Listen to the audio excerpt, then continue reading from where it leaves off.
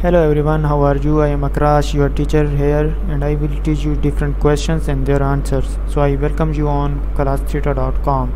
So our today's question is Select a check button will automatically unselect any other check button in its group true false and answer the question is the statement you provide selecting check button will automatically unselect any other check button in its group is false the channel generally referred a radio button functionality rather than a check button check button allow multiple selection within a group where the radio button allow only a single selection Thank you for watching the video. If you have any question related to this video, please post a comment below.